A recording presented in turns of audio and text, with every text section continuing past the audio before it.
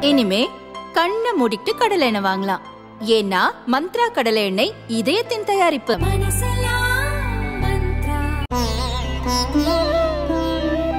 தினம்தோறும் விளக்கேற்ற நல்ல எண்ணெய் இதயம் நல்லெண்ணெய்.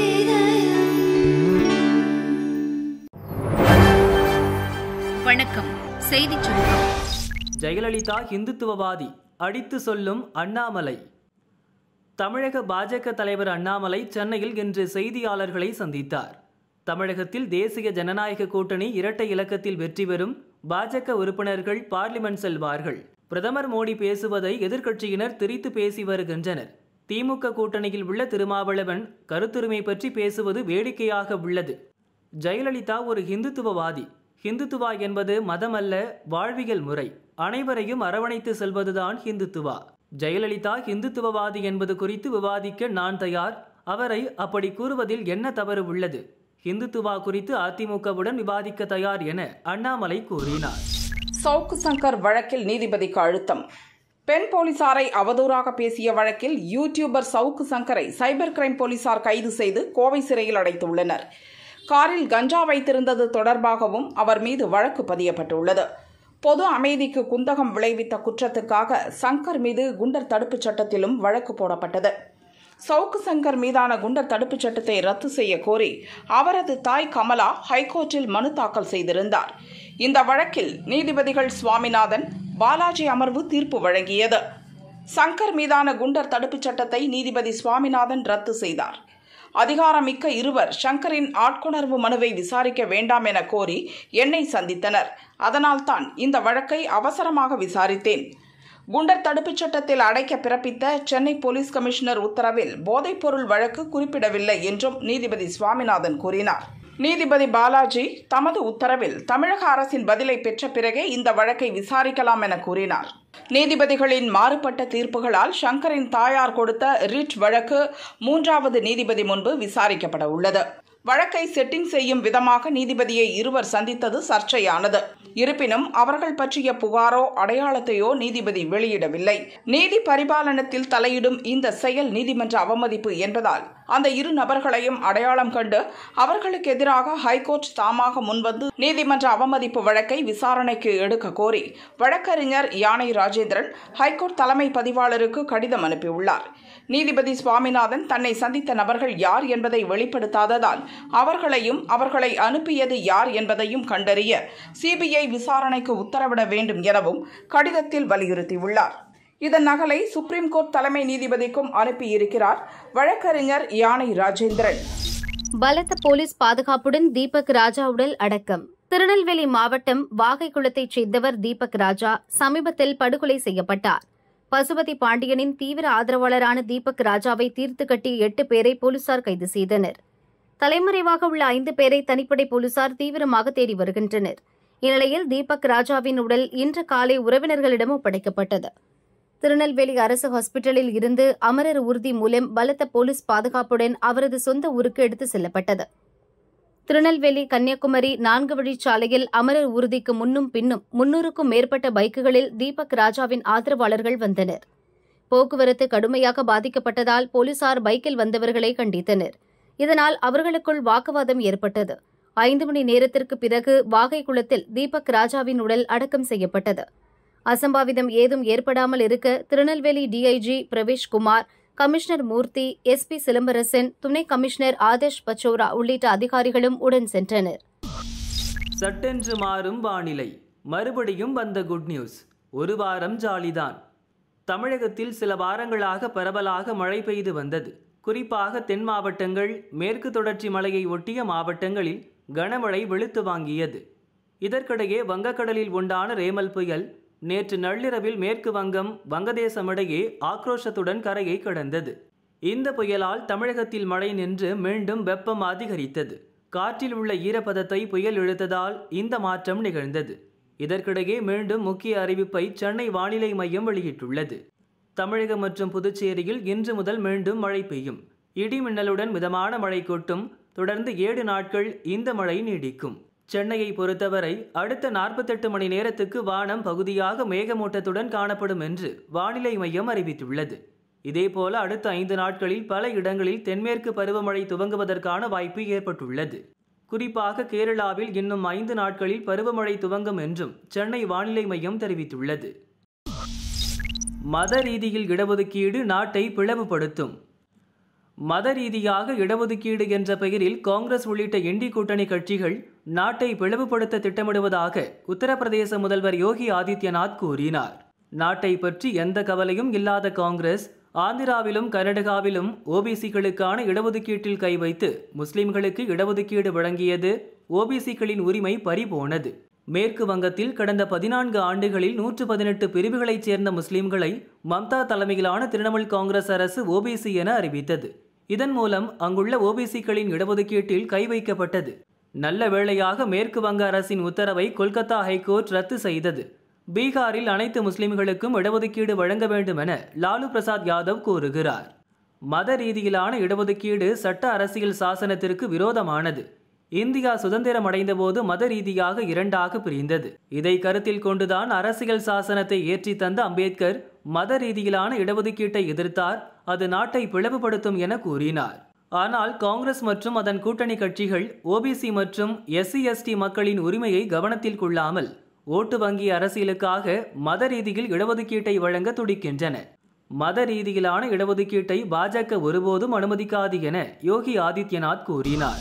பரமாத்மா அனுப்பி வைத்ததாக மோடி சொன்னது இதுக்குத்தான். பிரதமர் மோடி கடந்த இருபத்தி இரண்டாம் தேதி டிவிக்கு அளித்த பேட்டியில் தான் கடவுளால் அனுப்பப்பட்டிருக்கிறேன் என்று சொன்னார்.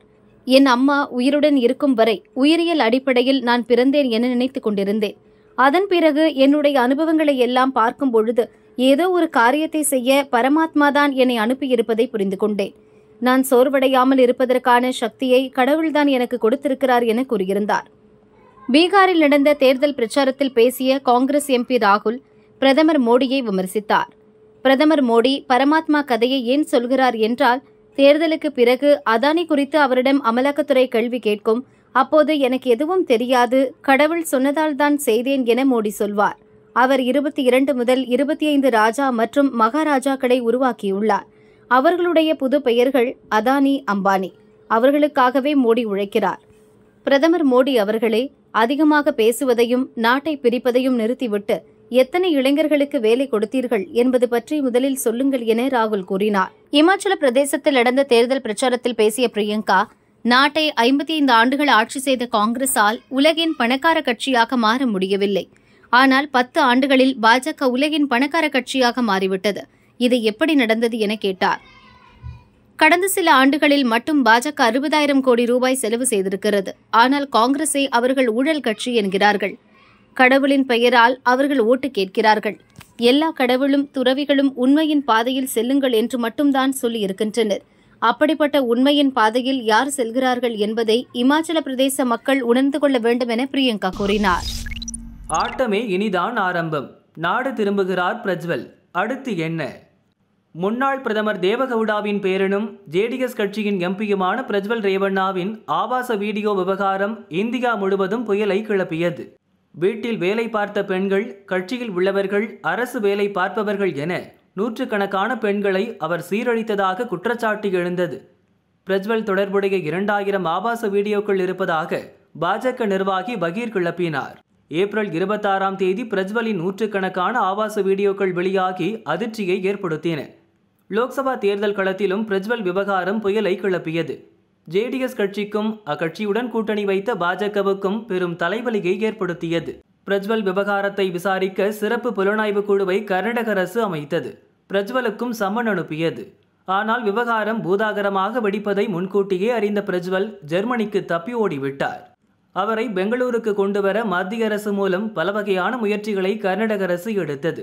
இருப்பினும் ஒரு மாதமாக அவர் ஊருக்கு வரவில்லை. இது ஜேடிஎஸ் கட்சிக்கு இன்னும் கெட்ட பெயரை ஏற்படுத்தியது. ஜேடிஎஸ் தலைவரும் முன்னாள் முதல்வருமான குமாரசாமி டென்ஷன் ஆனார். உடனே பிரஜ்வல் ஊர் திரும்ப வேண்டும் என்று எச்சரிக்கை விடுத்தார். பிரஜ்வலுக்கு இவர் சித்தப்பா முறை. அடுத்து பிரஜ்வலின் தாத்தா தேவகவுடாவும் உடனே ஊர் திரும்பி சட்டப்படி விசாரணையை எதிர்கொள்ள வேண்டும் என்று பிரஜ்வலை வலியுறுத்தினார். இந்த சூழலில் முக்கியமான அறிவிப்பை வீடியோ மூலம் இப்போது வெளியிட்டுள்ளார் பிரஜ்வல். யாரும் என்னை தவறாக எடுத்துக்கொள்ளாதீர்கள் நான் சிறப்பு புலனாய்வு குழு முன்பு மே முப்பத்தோராம் தேதி காலை பத்து மணிக்கு கண்டிப்பாக ஆஜராவேன். எனக்கு எதிராக பொய் வழக்கு போட்டுள்ளனர். எனக்கு சட்டம் மீதும் கோர்ட் மீதும் நம்பிக்கை உள்ளது என்று பிரஜ்வல் கூறியுள்ளார். வெளிநாடு தப்பி ஓடியதையும் பிரஜ்வல் நியாயப்படுத்தி வீடியோவில் பேசினார். நான் என் சித்தப்பாவிடமும் என் குடும்பத்தினரிடமும் மன்னிப்பு கேட்டுக்கொள்கிறேன். நான் வெளிநாடு போனது பற்றி சரியான தகவல் வெளியாகவில்லை. ஏப்ரல் இருபத்தாறாம் தேதி கர்நாடகாவில் லோக்சபா தேர்தல் முடிந்ததும் தான் நான் வெளிநாடு புறப்பட்டேன். அப்போது என் மீது வழக்கும் இல்லை. எனக்கு எதிராக சிறப்பு விசாரணை குழுவும் அமைக்கப்படவில்லை. வெளிநாடு போன இரண்டு மூன்று நாட்கள் கழித்துதான் இவையெல்லாம் நடந்தன. இதை நான் யூடியூப் மூலம்தான் பார்த்தேன். ஏழு நாள் அவகாசம் கேட்டு வக்கீல் மூலம் சிறப்பு புலனாய்வு குழுவுக்கும் கடிதம் எழுதியிருந்தேன். மனச்சோர்வு ஏற்பட்டதால் தனிமை தேவைப்பட்டது. எனவே வெளிநாடு சென்றேன் என்று சுப்ரீம் கோர்ட் உதவியை மீண்டும் நாடிய கெஜ்ரிவால். புதிய மதுபான கொள்கை முறைகேடு வழக்கில் டில்லி முதல்வர் கெஜ்ரிவாலை அமலக அதிகாரிகள் மார்ச் இருபத்தி ஒன்றில் கைது செய்தனர். திகார் சிறையில் அடைக்கப்பட்ட கெஜ்ரிவால் தன் மீதான வழக்கை ரத்து செய்ய கோரி டில்லி ஹைகோர்ட்டில் வழக்கு தொடர்ந்தார். ஆனால் அவரது கோரிக்கை நிராகரிக்கப்பட்டது. ஹைகோர்ட் உத்தரவுக்கு எதிராக சுப்ரீம் கோர்ட்டில் மேல்முறையீடு செய்தார். அந்த வழக்கு விசாரணையில் இருக்கும் நிலையில் தேர்தல் பிரச்சாரத்திற்காக இடைக்கால ஜாமீன் கேட்டார். அமலக்கத்துறையின் கடும் எதிர்ப்பு வாதங்களையும் மீறி கடந்த பத்தாம் தேதி சுப்ரீம் கோர்ட் நீதிபதிகள் சஞ்சீவ் கண்ணா தீபங்கர் தத்தா இருவரும் கெஜ்ரிவாலுக்கு ஜூன் ஒன்று வரை இடைக்கால ஜாமீன் வழங்கினர். தேர்தல் பிரச்சாரம் மட்டுமே செய்ய வேண்டும். முதல்வருக்கு உரிய அரசு பொறுப்புகளில் தலையிடக்கூடாது. ஜூன் இரண்டில் திகார் சிறைக்கு திரும்ப வேண்டும் எனவும் கெஜ்ரிவாலுக்கு உத்தரவிட்டனர். சிறையிலிருந்து வெளியே வந்த கெஜ்ரிவால் டில்லி பஞ்சாப் உத்தரப்பிரதேசம் மகாராஷ்டிரா உள்ளிட்ட மாநிலங்களில் ஆம் ஆத்மி மற்றும் இண்டி கூட்டணி வேட்பாளர்களை ஆதரித்து தேர்தல் பிரச்சாரம் செய்தார். இந்த நிலையில் இடைக்கால ஜாமீனை மேலும் ஒரு வாரம் நீட்டிக்க கோரி சுப்ரீம் கோர்ட்டில் அவரது தரப்பில் புதிய மனு தாக்கல் செய்யப்பட்டுள்ளது. சிறையில் இருந்தபோது சரியான உணவு மருத்துவ வசதி கிடைக்காமல் ஏழு கிலோ எடை குறைந்தது. சிறுநீரில் கீட்டோன் அளவும் அதிகமானது. சிறையை விட்டு வெளியே வந்து மருத்துவ கண்காணிப்பில் இருந்த போதிலும் கெஜ்ரிவாலின் எடை மீண்டும் பழைய நிலைக்கு வரவில்லை. இது அவரது உடல்நிலை குறித்த கவலையை ஏற்படுத்துகிறது. உடல்நிலையை கவனிக்காவிட்டால் அது சிறுநீரக கோளாறு புற்றுநோய் ஏற்படும் வாய்ப்புகள் அதிகம் உள்ளன அதனால் அவருக்கு புற்றுநோயை கண்டுபிடிக்க உதவும். கதிரியக்க பரிசோதனை உள்ளிட்ட மருத்துவ சோதனைகள் தேவைப்படுகின்றன. எனவே கெஜ்ரிவாலின் இடைக்கால ஜாமீனை மேலும் ஒரு வார காலம் நீட்டித்து உத்தரவிட வேண்டும் எனவும் அந்த மனுவில் கூறப்பட்டுள்ளது. தொடரும் பயங்கர தீ விபத்துகள். குஜராத் அரசு தூங்கிவிட்டதா? குஜராத்தின் ராஜ்கோட் நகரில் டிஆர்பி கேம் என்ற பெயரில் சிறுவர்களுக்கான விளையாட்டு பொழுதுபோக்கு மையம் உள்ளது. கோடை விடுமுறை என்பதால் சனிக்கிழமை அந்த மையத்தில் ஏராளமான சிறுவர் சிறுமிகள் குவிந்திருந்தனர். மாலையில் விளையாட்டு மையத்தின் தரைத்தளத்தில் திடீரென தீப்பிடித்தது இந்த தீ மளமளவென பரவி விளையாட்டு மைதானத்தின் நான்காவது மாடி வரை கொழுந்துவிட்டு எரிந்தது. சுமார் ஐந்து கிலோமீட்டர் தொலைவு வரை கரும்புகை சூழ்ந்தது. இந்த தீ விபத்தில் பதினாறு வயதுக்குட்பட்ட ஒன்பது குழந்தைகள் உட்பட இருபத்தி எட்டு பேர் உடல் கருகி இருந்தனர் சம்பவம் தொடர்பாக விசாரணை நடத்த ஐந்து பேர் கொண்ட சிறப்பு புலனாய்வு குழுவை குஜராத் அரசு அமைத்துள்ளது. இந்த குழு விரைவாக விசாரித்து எழுபத்தி இரண்டு மணி நேரத்திற்குள் அறிக்கை சமர்ப்பிக்க உத்தரவிட்டுள்ளது. விளையாட்டு மையத்தில் ஏற்பட்ட தீ விபத்தில் இருபதற்கும் மேற்பட்டோர் இறந்த சம்பவம் நாடு முழுவதும் பெரும் பரபரப்பை ஏற்படுத்தியது. தீ பாதுகாப்பு சான்றிதழ்கள் உட்பட தேவையான அனுமதி இல்லாமல் விளையாட்டு அரங்கம் இரண்டு வருடத்திற்கு மேலாக இயங்கி வந்தது போலீஸ் விசாரணையில் தெரிந்தது. இந்த சம்பவம் தொடர்பாக குஜராத் ஹைகோர்ட் தாமாக முன்வந்து விசாரித்தது. விளையாட்டு மையம் இரண்டரை ஆண்டுகளாக முறையான அனுமதியின்றி இயங்கி வருகிறது. இந்த விஷயத்தில் மாநில அரசு கண்மூடித்தனமாக இருப்பதாக நாங்கள் நினைக்கலாமா? மாநில அரசும் அதிகாரிகளும் என்ன செய்கிறீர்கள்? தீ பாதுகாப்பு சான்றிதழுக்கான விசாரணைகள் நான்கு ஆண்டுகளாக தீர்க்கப்படாமல் இருப்பதை அறிந்த கோர்ட் கோபமடைந்தது. மாநில அரசு தூங்கிவிட்டதா? ராஜ்கோட் நகராட்சியையும் மாநில அரசையும் நம்பவில்லை என கண்டனம் தெரிவித்தது. கடந்த காலங்களில் நடந்த பல சம்பவங்களை சுட்டிக்காட்டிய கோர்ட் கடந்த நான்கு ஆண்டுகளில் பல முடிவுகளையும் அறிவுறுத்தலையும் வழங்கியுள்ளோம். அதற்கு பிறகும் மாநிலத்தில் ஆறு சம்பவங்கள் நடந்திருப்பதாக வருத்தம் தெரிவித்தது. நிலச்சரிவில் இரண்டாயிரம் பேர் புதைந்த பரிதாபம். ஆஸ்திரேலியாவுக்கு அருகே உள்ளது பப்புவா நியூகினியா நாடு. இது உலகின் மூன்றாவது பெரிய தீவு தேசம். கடந்த வாரம் முழுவதும் அங்கு கனமழை பெய்தது. கடந்த இருபத்தி நான்காம் தேதி விடியற்காலை மூன்று மணி அளவில் காக்கலம் என்ற மலை கிராமத்தில் நிலச்சரிவு ஏற்பட்டது. கிராமத்தின் பெரும்பாலான பகுதிகள் இருபது முதல் இருபத்தைந்து அடி ஆழத்துக்கு புதைந்தது. வீடுகள் பள்ளிகள் கடைகள் விடுதிகள் வயல்வெளிகள் அரசு அலுவலகங்களும் புதையுண்டன. ஆரம்பத்தில் நூறு பேர் இறந்ததாகவும் ஆறு உடல்கள் மட்டும் மீட்கப்பட்டதாகவும் சொல்லப்பட்டது. அதன் பிறகு அறுநூற்று எழுபது பேர் இறந்திருக்கலாம் என அரசு தரப்பில் தெரிவிக்கப்பட்டது. இப்போது அந்த எண்ணிக்கை இரண்டாயிரத்தை தாண்டி உள்ளது. சுமார் இரண்டாயிரத்துக்கும் மேற்பட்டோர் நிலச்சரிவில் புதையுண்டிருக்கலாம் என ஐக்கிய நாடுகள் சபைக்கு பப்புவா நியூகினியா நாட்டின் தேசிய பேரிடர் நிர்வாகம் அனுப்பிய கடிதத்தில் கூறப்பட்டுள்ளது. நிலச்சரிவு ஏற்பட்ட இடத்தில் ஒரு மலையிலிருந்து கற்கள் தொடர்ந்து சரிந்து கொண்டே வருவதால் மீட்பு பணியை மேற்கொள்வதில் சிக்கல் நீடிக்கிறது. நிலச்சரிவு ஏற்பட்ட இடத்தின் அருகே உள்ள கிராமத்தினர் வெளியேற்றப்பட்டு முகாம்களில் தங்க வைக்கப்பட்டுள்ளனர். ஆஸ்திரேலியா பிரான்ஸ் நாடுகள் தேவையான உதவிகளை செய்து வருகின்றன.